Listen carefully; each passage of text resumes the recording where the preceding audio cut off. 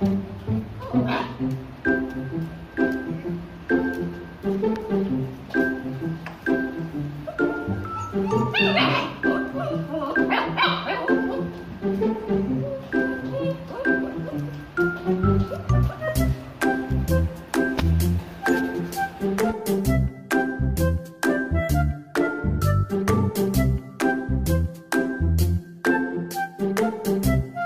Guys welcome back to my YouTube channel all about dogs तो जैसा कि आप ये पपी देख रहे हैं ये आज अराउंड 37 38 डेज़ का हो चुका है। अभी इसकी थोड़ी सी तबीयत ख़राब चल रही थी तो अभी धीरे धीरे रिकवर किया है इसने। थोड़ा सा इसका टेम्परेचर गाइज़ थोड़ा सा ये मतलब गर्म हो चुका था, थोड़ा टेम्परेचर हाई हो गया था इसका। तो अभी इसको डॉक्टर के दिखाया था दो तीन दिन पहले तो अब थोड़ा एक्टिव होने लगा है ये वापस। सो अभी प्रॉपर इसका ध्यान रख रहे हैं, ये इसकी बहन जी। इसका भी टेम्परेचर ड्रॉप हो गया था काफ़ी। सो अभी तो इनकी केयर चल रही है गाइस काफ़ी अच्छी। तो आज का जो टॉपिक है बेसिकली होने वाला है, कैसे मालूम करें कि हमारा जो पपी है, वो लॉन्ग कोट है या फिर नहीं है? तो उसी के ऊपर मैं आप लोगों को बताऊँगा। सो गाइज़ जो मेन चीज़ होती है किसी भी पपी में, हम देखते हैं मार्केट से लेने जाते हैं कि लॉन्ग कोट है या नहीं है। तो सबसे पहले हम देखते हैं उसके ईयर्स ठीक है? अब अगर ईयर्स के, यार, ये हिलते बहुत हैं यार एक तो। ईयर्स देखो, यार, तू उधर चली जा जा जा उधर जा। ये देखो ईयर्स है ना, जैसे ईयर्स के ऊपर हेयर्स होने चाहिए। देखो, ये जैसे दिख रहे होंगे आपको, है ना? तो ये जो हेयर्स होता है ना कुछ तो ये क्या बताता है हमको कि हमारा पपी का जो कोट आएगा, वो काफ़ी मतलब लॉन्ग होगा, बड़ा होगा जब हमारा पपी तो ईयर्स के आसपास से बाल आएँगे। और ये जो पैर होता है, पैर के पीछे की तरफ़, पैर के पीछे की तरफ़ भी काफ़ी बाल होते हैं यहाँ पर। और जो टेल होती है, वो भी एज़ यूजल थोड़ी सी मोटी होती है। और यहाँ पर भी बाल होते हैं और पैर के इस तरफ़ भी बाल होते हैं। तो ये कुछ निशानियाँ होती है और गाइज़ जो लॉन्ग कोट पपी होता है पपी के ही आप ये देख लो कि आराम से एक इंच के बाल होते हैं। अभी जैसे ये पपी है है ना? तो इसको मैं अगर इसके, यार ये कुछ ज़्यादा ही एक्टिव हो गया है ये। चुप हो जा, चुप, बिल्कुल चुप, शांति से बैठ जा। तो यार ये मेरे को नहीं करने देंगे, कुछ भी नहीं बनाने देंगे ये वीडियो तो इसके ही देखो, यहाँ पर मैंने बालों में हाथ डाला है तो इसके बाल कितने, इतने लंबे हैं, अभी से इतने लंबे बाल है, जबकि ये दो महीने का भी नहीं हुआ है ये पपी। तो भी इसके इतने बाल है, ये देख लो आप फ्लफीनेस आपको इसके बालों की अभी से पता चल रही होगी। हैवी बोन है पपी पूरा, देख लो बोन का साइज़ इसका अभी से कितना है, मेरी दो उंगलियों से भी ज़्यादा, तीन उंगलियाँ पूरी कवर कर रहे हैं इसका हाथ। और यहाँ पर कमर के नीचे भी काफ़ी बाल होते हैं लॉन्ग कोट में इस एरिया में काफ़ी सारे बाल होंगे और जो ये दाढ़ी दाढ़ी कह सकते हैं आप इस एरिया को, यहाँ पर भी बाल होते हैं काफ़ी। और ये जो जगह होती है, यहाँ पर भी काफ़ी सारे बाल होते हैं।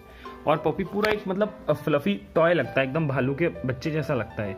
अब जैसे मैं इसी की बात करूँ तो इसी को मैं उठा के देखूँ तो ये देख लो। अरे लाला, ये देखो, उठी भी नहीं रहा है इतना भारी हो चुका है। ये देखो। पसंद ही नहीं है भाई। ये देखो तो आप तो आप देख सकते हैं यही है इस पपी में खासियत। अभी खेलना ज़्यादा इन्जॉय करता है ये। अभी खेल कैसा रहा है भाई? थोड़ा गाइज़ नॉर्मल पपीज़ जो लॉन्ग कोट के होते हैं, उनमें टेम्परेचर इशू आ ही जाता है। अभी ये खेल रहा है। थोड़ी देर बाद ये इतना सुस्त हो जाएगा कि इसका बिल्कुल भी हिलने का मन नहीं करेगा, मेरे को डरा देगा ये थोड़ी सी देर में। तो ये सारी चीज़ें नॉर्मली होती रहती है। बाकी मार्किंग भी इसकी अच्छी जा रही है, थोड़ा ब्लैक एंड टैन कलर में बनेगा ये पपी थोड़ा रिच टैन कलर होगा। और गाइज़ एक और चीज़ बताना चाहूँगा। कुछ लोग बोलते हैं, ये जो वाइट स्पॉट आता है ना डॉग्स के अंदर, ये वाइट स्पॉट जो दिख रहा होगा आपको ये वाला वाइट स्पॉट ये वाइट स्पॉट तो कुछ बोलते हैं कि वो इम्प्योर होता है पपी गाइज़ ऐसा कुछ भी नहीं है। वाइट स्पॉट अगर यहाँ पर होता है तो वो इम्प्योर हो सकता है।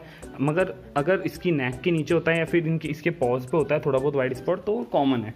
बस टेल पर वाइट नहीं होना चाहिए और इसके पीछे जो ये एरिया होता है, कमर का, यहाँ पर वाइट नहीं होना चाहिए और फेस पे वाइट नहीं होना चाहिए। बाकी नॉर्मल जो एक छोटा सा स्पॉट होता है ना यहाँ पर, ये चलता है, ये कवर हो जाता है टाइम के साथ में।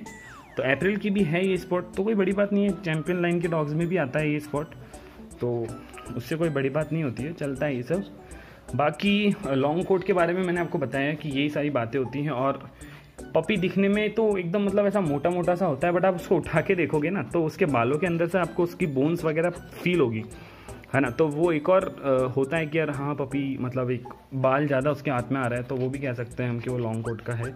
बाकी जो सबसे फ़र्स्ट प्रायोरिटी होती है वो यही होती है कि उसके मदर और फादर अच्छे कोट के हों, तभी बच्चा अच्छा कोट का निकलेगा। कोई दुनिया की चीज़ ये नहीं कर सकती, अगर मदर फादर सिंगल कोट के हैं, वो कभी कभी जेनेटिकली हो जाता है कि कोई मतलब उसके दादा की या फिर नाना की लाइन में कोई भी होता है ना, जो लॉन्ग कोट के होते हैं तो वो उन पर चले जाते हैं जीन्स तो वो चीज़ होती है, बाकी अदरवाइज़ मदर फादर पर ही जाते हैं बच्चे। जैसे अप्रैल का कोट भी काफ़ी अच्छा और इसके फादर तो पूरा प्रॉपर लॉन्ग कोट का बच्चा डॉग था। तो ये भी लॉन्ग कोट का ही बनेगा, इसकी हाइट वाइट काफ़ी अच्छी जाएगी। इनकी हम रेगुलर अपडेट्स डालते रहेंगे आपको। क्योंकि जिनको भी देंगे, हमारे नोन को ही देंगे, हम ऐसे किसी को देंगे नहीं कि भाई जो आगे जाके सेल कर दे या फिर कुछ इनसे प्रॉफिट कमाए। तो इनको किसी को ऐसे को नहीं देने वाला मैं बच्चा। मैं सिर्फ़ जो अच्छे नोन हैं, अपने उन्हीं को ही दूँगा। बाकी अपने, बाकी बच्चे तो गए हैं, उनकी वीडियो डालूँगा मैं।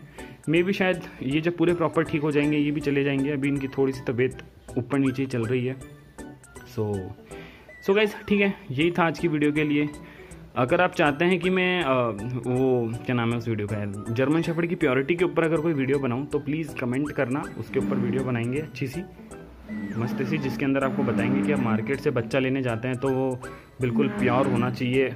अगर वो प्योर है तो क्या क्या चीज़ें होनी चाहिए उसके अंदर। ये वीडियो सिर्फ़ लॉन्ग कोट और उसका था। सिर्फ़ लॉन्ग कोट के बारे में बताया मैंने आपको इसमें। बाकी प्योरिटी की वीडियो अलग बनाऊँगा तो कमेंट करके प्लीज़ बताइएगा गाइस और गाइज़ इस वीडियो का जो हमने टारगेट रखा है लाइक्स का, वो रखा है सेवेंटी तो प्लीज़ गाइज़ सेवेंटी लाइक्स तक करवा दो यार। प्लीज़ सेवेंटी ही तो करवाने ज़्यादा थोड़ा ना करवाने अगर आप वीडियो देख रहे हो तो सेवेंटी लाइक्स करवा ही दो। ठीक है गाइज़ तो मिलता है फिर अगली वीडियो में। जल्दी आएगी नेक्स्ट वीडियो जब तक के लिए अपना ध्यान रखिए। देखते रहिए ऑल अबाउट डॉग्स थैंक्स